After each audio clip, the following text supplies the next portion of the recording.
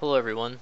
I apologize that it's been a while since I made one of these videos. I know everyone finds them helpful, but one of your classmates has trouble seeing them, and I know that the scale is, is not so great with the program that I used to record, but I did try to blow it up and the program didn't like it. I also tried to record what I was doing on Google Earth and the program didn't like it. So I'd like to just go ahead and say that I think everybody's doing really well for the class in general, but I don't want you to get hung up on uh, the, the fact that you don't know how to do everything with GIS or, or that you're struggling with using this program.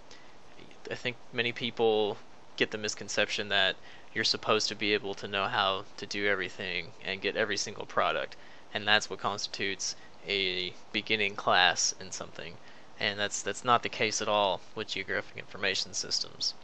I'm trying to present the class in a different way because my only philosophy that I do want to impose on you is that GIS is an always changing, ever evolving tool set. And it's not just something static that what I teach you today is going to be the exact same 10 years from now. Uh, I hope it's not, it shouldn't be. But I, I get the feeling that some people might go forward and try to use this in your jobs or try to take more advanced classes and hear me breaking your pens in half saying, ah, that Greer guy was terrible. He didn't, he didn't prepare me for this.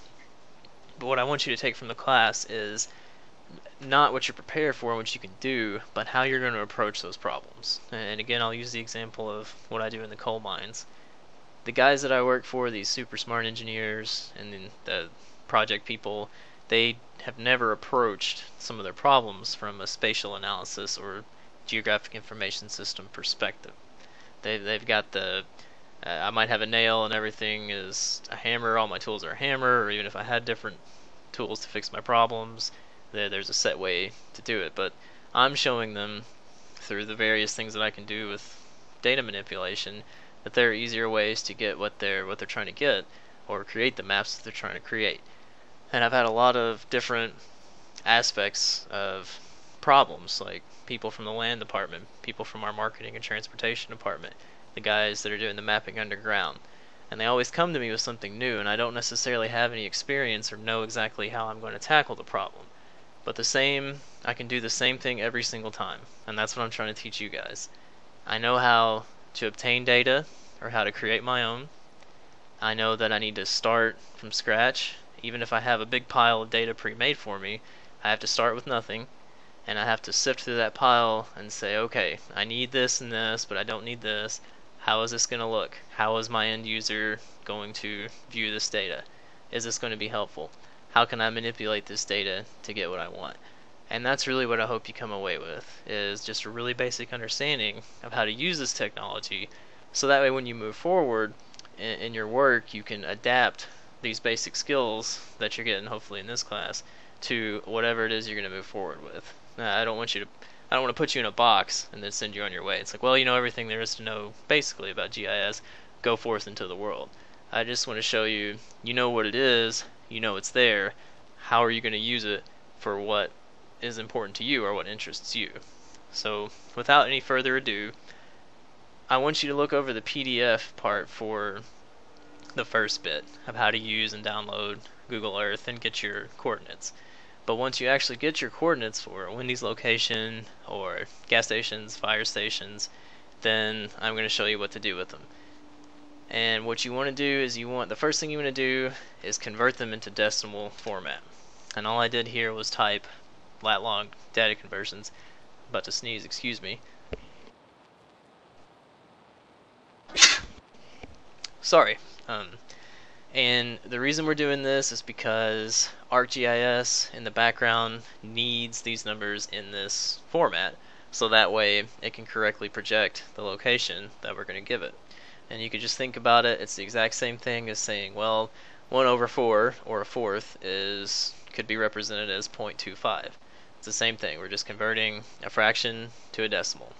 Except in this instance, I went to the first website I googled, and my latitude, which is the north-south coordinate for a comic book store in Henderson, is 37 degrees, 50 minutes, 29.93 seconds, and the longitude coordinate is negative 87 degrees, 35 minutes, 27.22 seconds. And make sure that if you're in the Western Hemisphere, which anything in the northern United States is going to be, or excuse me, North America, that number for your longitude is going to be negative. So when you convert to decimal, you get these two values, and that's what you need.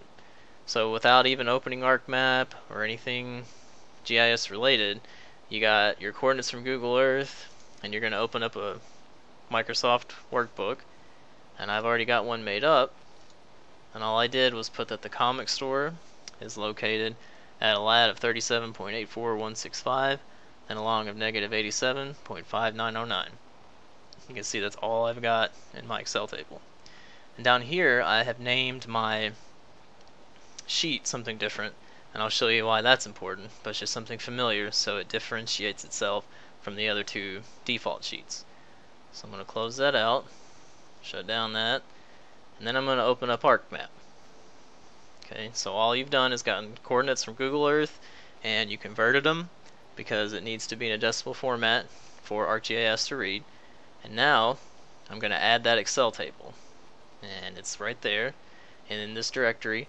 And remember, I know someone was having some trouble. If you open this up and you can't find where your folder is, like where you put all your information, use this feature here, the connect to folder, and then you can browse your computer like you could any other program. It'll let you find it.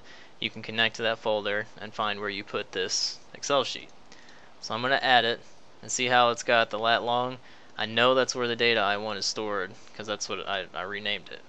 So you're just going to add that. And then here I've got the table. I'm going to open it just to make sure. Remember that that's it. Super simple. I did that myself and you guys are going to do that if you use it for your final project. That's all that the table is. Next you want to go to File, come down to Add Data, and instead of the typical Add Data feature, you want to use this Add XY Data. And when you pop this window up, it's going to automatically populate this stuff for you because you've got the table here. But if you didn't, the X field is always going to be your longitude value and the Y field is always going to be your lat.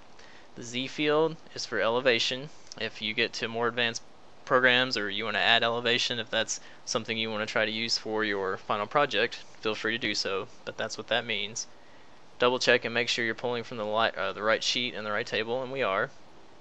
And your coordinate system is under Geographic Coordinate Systems. Scroll down to World, and it is the WGS 1984. And it's this because that is what Google Earth uses as their, their grid, as their XY coordinate plane for projecting everything on Google Earth. And we want to tell it that that's where we're getting our coordinate system from. That's where these numbers came from. And this warning is going to tell you you don't have a key field in your table and it's going to create one or it might create problems. Don't worry about that. Okay, now you've got your dot. I would go up here to this temporary shapefile, come down and to data and export your data. And I'm going to put it somewhere. I've done this twice. Hopefully this time it'll actually record. Lat long test 2. And all you're doing is creating a new shapefile. I've named it something I'm going to remember in a location I can find easily. Going to add that to my to my map. I'm going to come over here in the table of contents and change it to list by my drawing order and get rid of the temporary file that was created from the XY datasheet. Now this is in WGS 1984 and we want to project it into what I'm going to be working with for my project and examples which will be Kentucky NAD 83 South. So I'm going to select to reproject this not define the projection. I'm going to beat that into you guys' head because it'll make life a lot easier later on trust me. Lat long test 2 NAD 83 something I can remember and distinguish from other shape files Gonna go down to state plane, NAD 83 in United States feet. Find my projection, which is Kentucky South, US feet. Tell it OK. It's completed the projection. Now, if you look under the properties of your layers, you're going to notice that the data layer window is in the WGS 1984. I'm going to close out of ArcMap, not save, and reopen it. Every time you have an untitled map if you bring in something, it's gonna whatever the projection is for that first piece of data, it's gonna turn the entire map into that.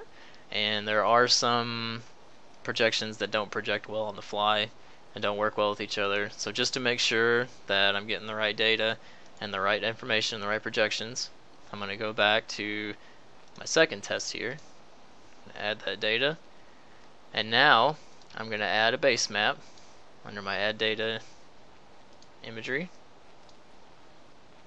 And once it gets to it, this is how I'm going to check to see whether or not I projected my new feature. You're like, uh-oh, that doesn't look right make sure to check up here for your map scale. That's very, very, very close.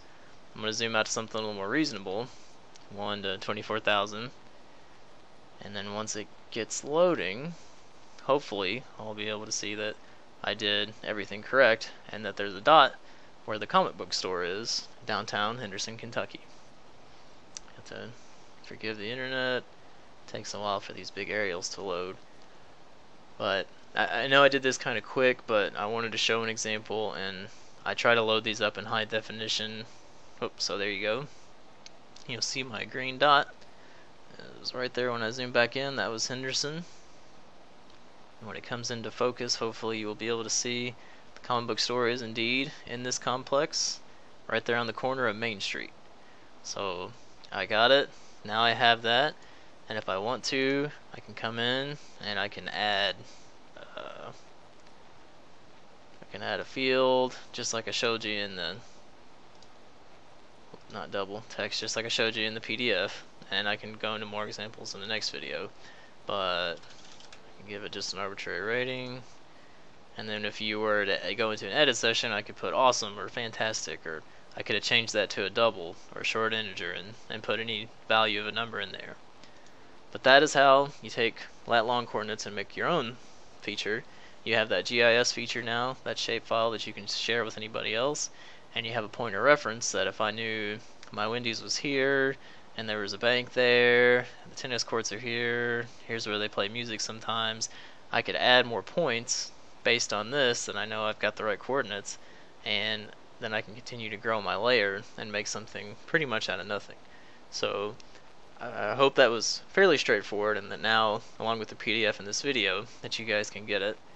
I'll make some more videos on some of the other questions that you've been asking me as soon as possible. But if you have any more questions, please, as always, do not hesitate to ask. I'm here to help and glad to do so.